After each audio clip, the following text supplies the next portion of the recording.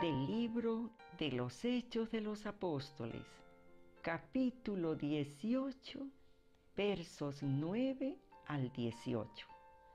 En aquellos días, Pablo tuvo una visión nocturna en Corinto en la que le dijo el Señor, no tengas miedo, habla y no calles, porque yo estoy contigo y nadie pondrá la mano sobre ti para perjudicarte.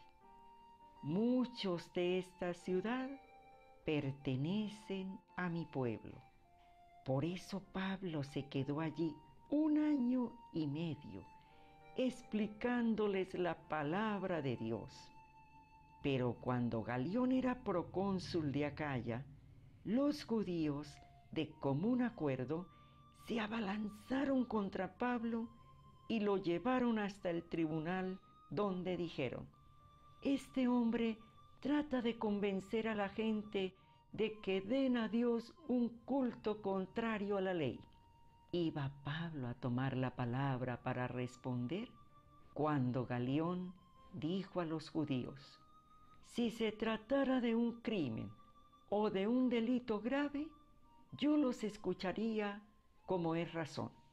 Pero si la disputa es acerca de palabras o de nombres o de su ley, arréglense ustedes. Y los echó del tribunal.